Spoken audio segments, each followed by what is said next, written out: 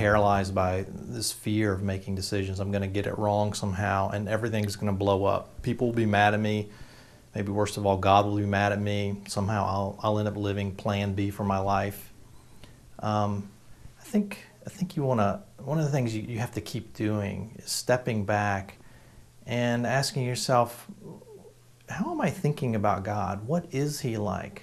What is what is His nature? Because at that point, you're sort of thinking of God as, as sort of this really mean, grouchy person in the sky who's just who's just a fault finder, who's just looking for reasons to punish you or curse you.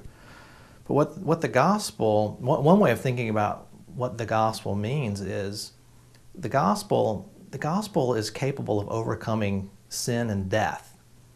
Now, if you think about it, that's that's everything. There's nothing more biblically speaking, uh, realistically speaking, there's nothing more powerful than death.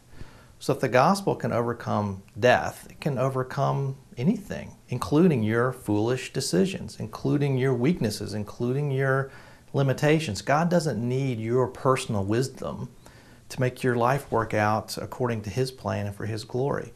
That, that leaves lots of unanswered questions that will have to remain unanswered. How does God and how does God work His plan and coordinate it with my my true liberty and, and free will mixed up with all my sinfulness and depravity? I don't know. Nobody knows. But but what we do know is that God is bigger than all of that.